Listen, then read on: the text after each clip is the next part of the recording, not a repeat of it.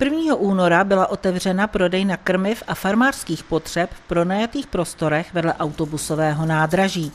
Původní prodejna za secesním mostem již nefunguje a tato nová prodejna by ji měla svým sortimentem minimálně nahradit. Majitelkou je slečna Kateřina Kaprálová, která nám poskytla blížší informace. Co bude vaše prodejna nabízet?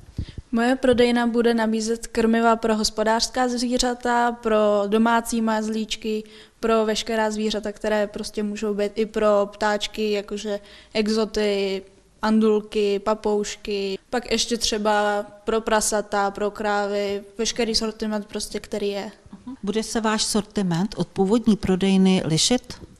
Nebude se moc lišit, jako nějaké změny tady budou, ale bude dosti podobný. Já to vítám, že nemusíme jezdit do Liberce a všechno se dá nakoupit tady aspoň v Chrastavě.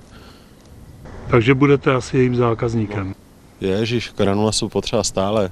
Jsem hlavně o tom nevěděla, ale pro mě a za mě to je výborný, protože já pořád mám nějakou kočku, nejlépe několik, takže nemusím jezdit do Liberce pro krmení, takže, takže jako dobrý. Budete nabízet i jiné doplňky pro zvířata, pelíšky, misky?